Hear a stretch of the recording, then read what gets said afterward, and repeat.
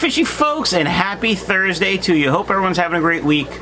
Guys, before we get started, in this epic video, do me a favor and obliterate that subscription button if you haven't done so already. Gently boop the notification bell so you know when I release a new video or if I go live or any of that other cool stuff. And then check out michaelsfishroom.com where currently I have a promo going on. Use promo code MFR16 for 16% off your entire purchase. That's right, folks. I said 16% off. Now, you might be saying to yourself, well, well, Mike, why 16%? That's such a strange percentage. And the reason is, I hit 16,000 subscribers on YouTube last week, and I want to give a little something, something back to y'all. So, michaelsfishroom.com, click, click, click, fill up your cart, boom, promo code MFR16, saving money. That's how it works, kids. Alright folks, in today's epic video, I'm going to talk about NEC and my experiences. How much money I made, what I bought, maybe a small tiny little bit of a rant. So do me a favor, grab a snack and a beverage, and uh, as always, that is grab a snack and a beverage and as always let me know in the comments down below what you're eating what you're drinking and stand by Alright, fishy folks, let's talk about the NEC. The NEC is the Northeast Council of Aquarium Societies, and this is from their uh, About page on their website. The Northeast Council of Aquarium Societies was established in 1956 to assist and strengthen member societies, to act as a clearinghouse for material relating to the aquarium hobby, to assist local societies in publicizing their events and to promote the aquarium hobby in general. So essentially, the NEC is um, not really a governing body, but sort of an umbrella of local aquarium clubs in the Northeast. I live in New Jersey, and uh, the club that's closest to me that I don't belong to anymore um, is part of the NEC, the club that I go to most often, Bucks County Aquarium Society, best club around, best auction, best people. Tom and Kaylee do a wonderful job. Anywho, uh, they belong. And then, you know, we were in Connecticut and there were clubs from Vermont and Massachusetts, so all over the Northeast. Obviously, Connecticut, New York, whatever.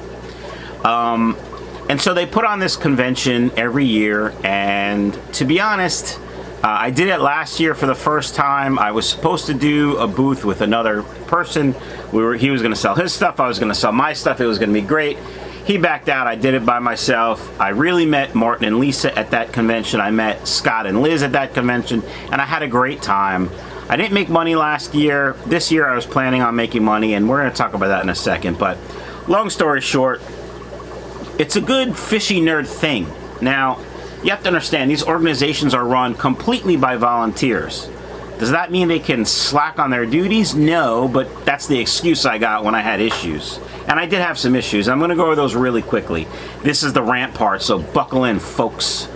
I get there, and I'm supposed to have power and uh, chairs at my table, as well as access to water. I had none of that at first. When I asked about water, the response I got was, didn't you bring water? No, no, I have, I didn't bring 40 gallons of water to fill my tanks up.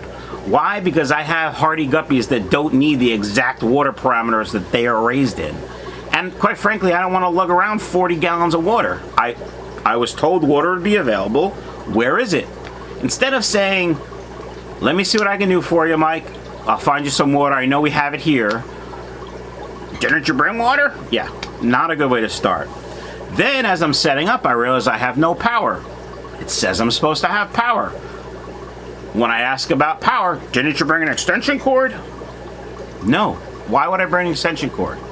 So every even if I did bring an extension cord, that would mean I have to run an extension cord across a walkway without any tape, hope nobody trips, falls, hurts themselves, or breaks any of my tanks, you know, ripping the plug out. Anyway, um, Russ, the president of one of the clubs there, uh, got with hotel engineering and got me power rather quickly. and the the head engineer said, you know, we're so sorry. We just we we forgot this booth. You know, anything we can do, let me know. And it was fine. And I got water and chairs. I had to go find chairs. Now, again, these people are all volunteers, but that to me, that's not an excuse. Also, uh, the person that's in charge of the vendor room, she had a family emergency and couldn't be there. And I know if she was there, it would have been different. Um, and I know the person that was in charge was stepping up, but um, in business, if that happens, it doesn't matter. You still have to be 100%. And quite frankly, I was disappointed. And I'm not going to be doing it again. All right, that's enough of my little rant. I didn't really want to offend too many people. Um, believe it or not, I care about those people and what they do for the hobby. So that's the rant for now. Sorry it wasn't more dramatic, but let's talk about how much money I made because I know you guys really want to know how I did. Um, at any rate, I made a spreadsheet because that's what I do. I'm an analytical guy. I do analytics for work. So essentially my expenses were about $665 and I made about $665. Give or take a couple dollars here and there. Some rough figures for you. If you're planning on vending at one of these conventions or even going to these conventions, you gotta gotta think about these costs. The hotel. I stayed two nights. We didn't stay at the hotel that the convention was given at. Uh, it got really poor reviews. It didn't have free breakfast. It got really poor reviews, and it was old. I don't know if I mentioned the poor reviews, but so we stayed about two exits up the highway, like 10 minutes away at best, on a hotel that was uh, less than a year old, had free breakfast, and had great reviews, and an indoor saltwater swimming pool that the kids played in. So the hotel was about 280 bucks for the two nights. Uh, gas to get to the event and get home about 70. Tolls were about 40 bucks, 35 bucks, something like that. Snacks and beverages. That's right, folks. I brought snacks and beverages. About $10 I brought Milano cookies, uh, regular goldfish, and pretzel goldfish, and apples. Get this, Honey Crisp apples with Honey Nut peanut butter. Oh, that's some good stuff right there, folks. And my beverage of choice, as always, was water. And then uh, we did steal some of Martin and Lisa's water too. Uh, food. Now, this is an expense that was quite a bit lower than uh, I thought it was going to be, and that's because uh, two nights dinner was purchased for me and my son Lucas uh, by some great folks, Greg Jones one night and uh, Martin and Lisa one night. And uh, so food was about 40 bucks for lunches. I mean, I bought I bought lunch for Greg and for Martin and Lisa too, but it wasn't a fair trade. So thank you guys, I appreciate it. Um, the table, $120 to buy the table that didn't have electric and power.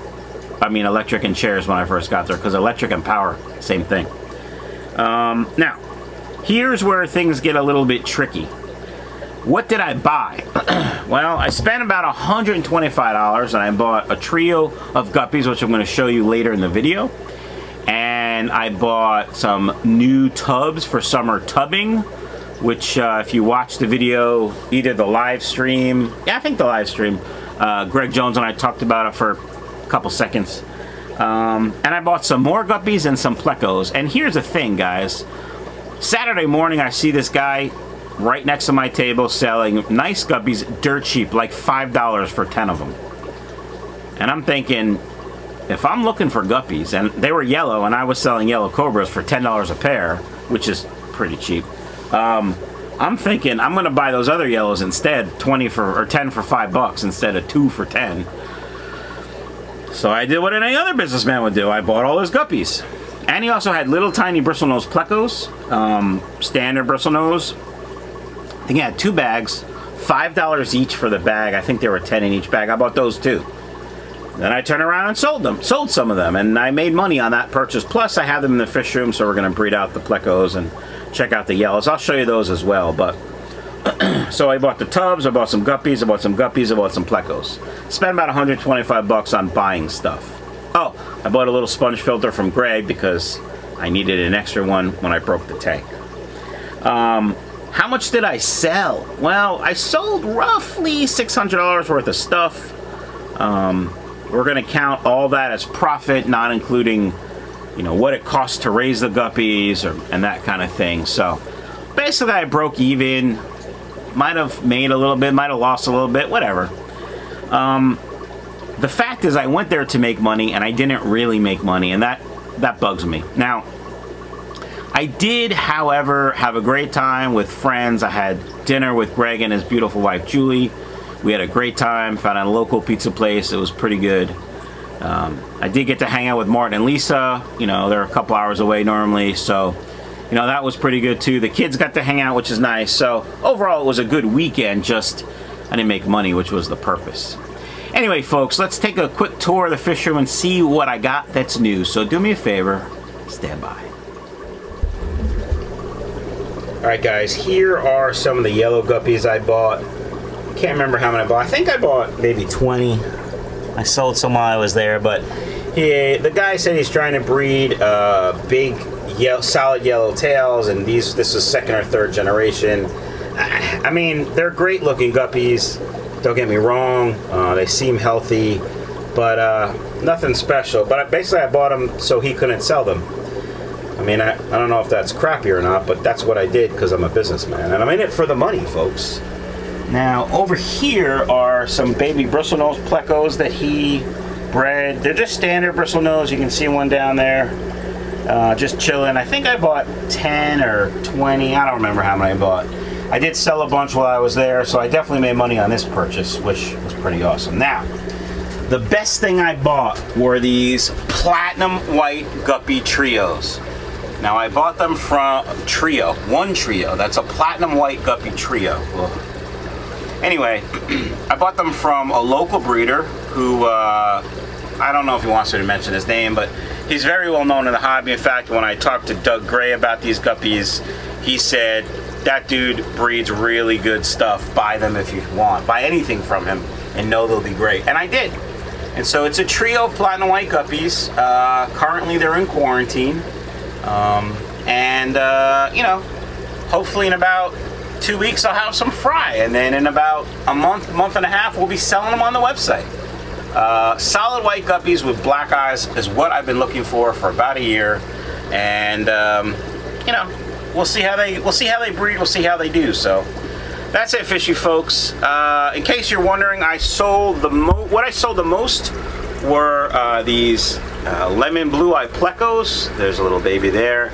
And I sold a poop ton of these. I almost sold out of these um, red dragon guppies. So, folks, also uh, check out the website MFR16 and uh, pre-order for these fantastic blue cobra guppies now available on the website for pre-order. All right, guys, see ya.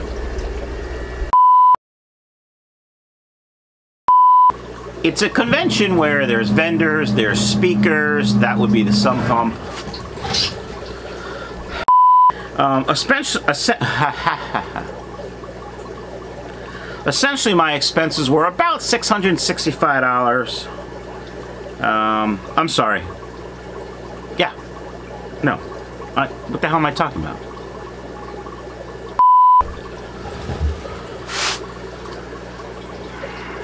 Hi, fishy folks, and happy terrific Thursday. That still doesn't just roll off the tongue like Water Change Wednesday, but we're changing. We're changing. We're going to start over. Hi, fishy folks, and happy day today. I don't know what day I'm to... I don't... Currently, if you use promo code MFR16, you get 16% off your entire purchase. Now, I got an itch, so we're gonna start over.